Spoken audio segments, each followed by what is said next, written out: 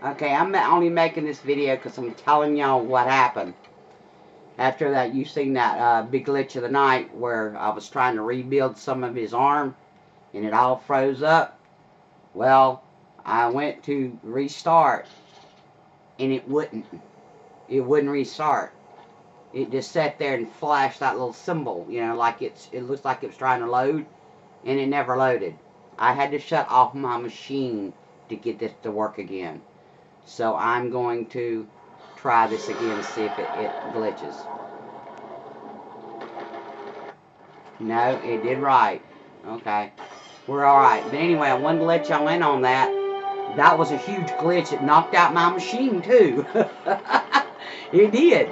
It made me have to turn it on and turn it back off, uh, turn it off and turn it back on. But I didn't have to go through all that, you know, Sony wants to know you got problems. It didn't. It just came back on. So, uh, evidently, the game just glitched itself.